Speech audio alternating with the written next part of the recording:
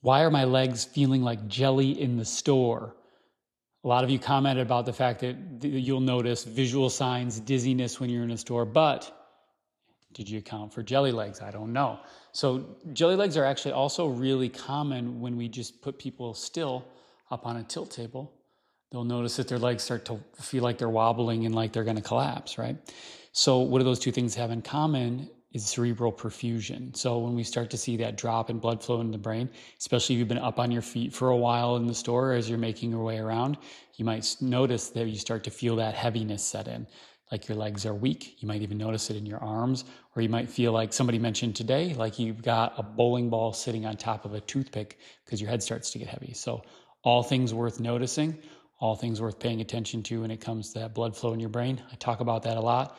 It's worth it. So, if you're noticing that's something that you're dealing with, let people know. Let them know you're not, they're not crazy. Let them know you're in the same boat. Leave us a comment, and we'll talk to you soon.